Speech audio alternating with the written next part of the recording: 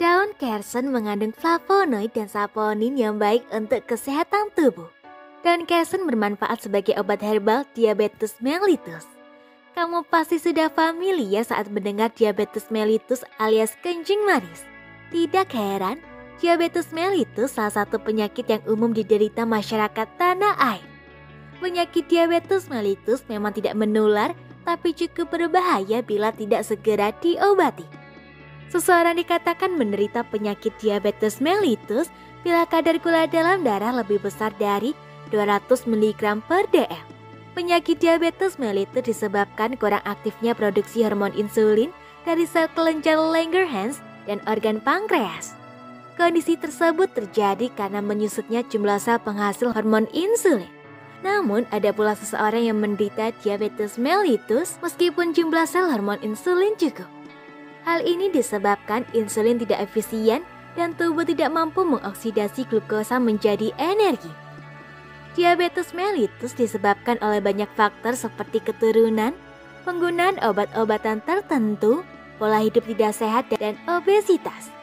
Penyakit diabetes mellitus harus segera ditangani. Bila tidak, penyakit ini akan menggerogoti tubuh penderitanya. Ada beberapa cara untuk menurunkan kadar gula darah bagi penderita diabetes mellitus. Pertama, penderita bisa melakukan olahraga secara rutin. Kedua, penderita harus mengonsumsi makanan yang tidak memicu naiknya gula darah. Ketiga, penderita bisa mengonsumsi obat resep dokter. Bila tidak ingin mengonsumsi obat kimia, penderita diabetes mellitus bisa minum obat herbal. Asal tahu saja, Cukup banyak obat herbal yang memiliki khasiat mengobati diabetes mellitus. Salah satunya daun kersen. Daun kersen obat herbal diabetes mellitus.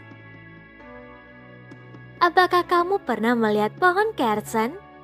Pohon kersen tumbuh liar di pinggiran sawah dan kebun.